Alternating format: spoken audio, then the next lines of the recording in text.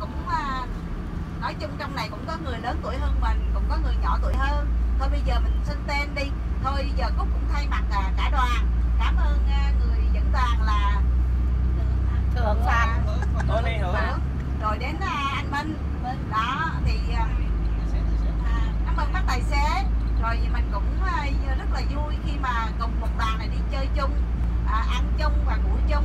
À, cùng sinh hoạt chung đây là một cái kỷ niệm từ à, à, năm mươi mấy năm bây giờ mình mới được à, hưởng những cái à, cái cái niềm vui như vậy đó bây giờ chị em trong đoàn mình thì à, kệ, đây là một cái à, hạnh phúc lớn nhất. Mình à, hồi ngộ gặp được nhau chứ không dễ gì mà gặp được. Một cái chuyến đi này đồng ý bỏ ra mấy chục triệu mình rất là đáng xứng đáng cho mình. Không biết về sau này mình có gặp được ai trong đoàn nữa hay không.